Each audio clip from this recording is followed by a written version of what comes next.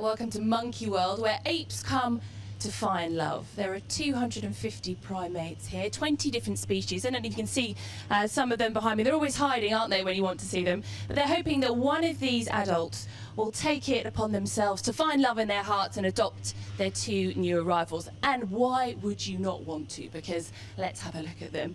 This is Rieke and this is Bulu Mata. I think they've already we've already tired them out a bit by getting them up early this morning. But Alison Cronin's the director of Monkey World. How significant is it to have uh, these two new ones here with you? It's pretty much unheard of, but then this is what Monkey World does. We take orphans, rehabilitate them, and try and give them their families back again. And for these two little precious orangutans, they're Sumatran orangutans, the most important thing for them is to grow up with others of their own kind, and that's exactly what we have planned here. How do you do that? Because um, that must be um, a pretty difficult thing to do, just to kind of reintegrate them. It's not as easy as that, is it? Well, you can see right now they're they're very dependent and very needy upon us. And little Rieke here, at only a few weeks old, can't even sit herself upright.